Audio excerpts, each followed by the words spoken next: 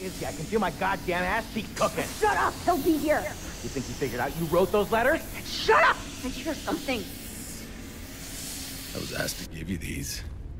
But they're not real, are they? The letters from his daughter. How long she been dead? Shit, he heard you, you idiot! Take him out! Okay, now I'm just pissed.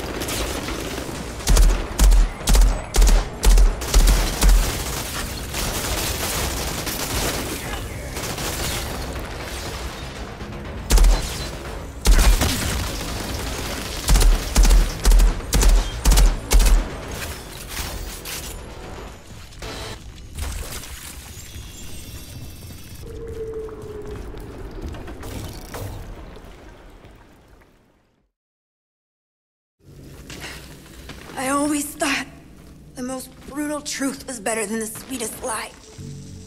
And then they told me what happened to my family.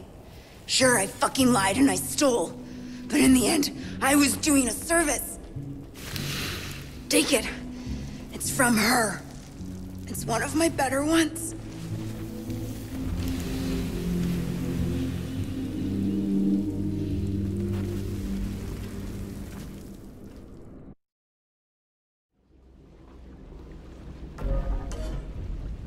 She really knew how to play his heartstrings. What do I tell the old man?